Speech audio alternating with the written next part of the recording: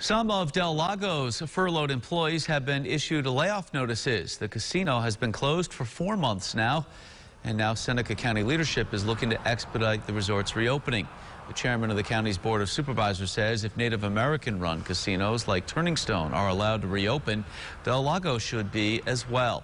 He says the resort is a huge driver for the local economy the budget finance director for the governor Cuomo said something about the uh, cards might get contaminated, you know, card game, and then the chips can get contaminated. So Del Lago is willing to say just a slot machine. You know, that opened up four four different casinos for slot machines, the, race, the racinos. You know, let's get this economy going in upstate New York.